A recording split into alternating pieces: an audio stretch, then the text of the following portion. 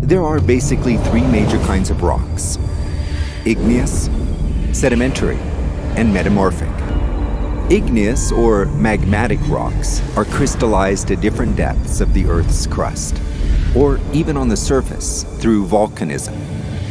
Sedimentary rocks are produced by the erosion of pre existing rocks or the accumulation of organic material in marine and continental environments.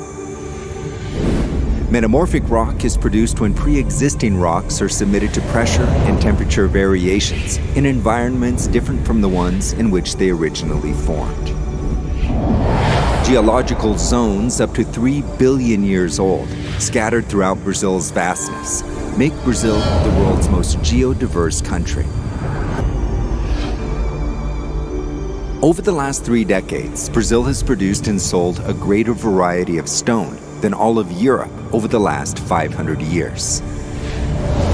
Brazil's stone portfolio includes 1,000 varieties of granite, an increasing collection of marble and quartzite, as well as consistent production of slate, limestone, soapstone, pegmatite, schist, and many others. Brazilian marbles are historic symbols of beauty and sophistication.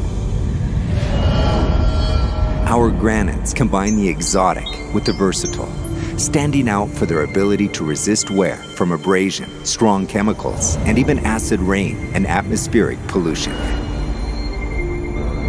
The main new Brazilian material on the international market is solid quartzite, a stone that combines marble's aesthetic standard with the resistance of granite, and which Brazil already offers in 120 commercial varieties.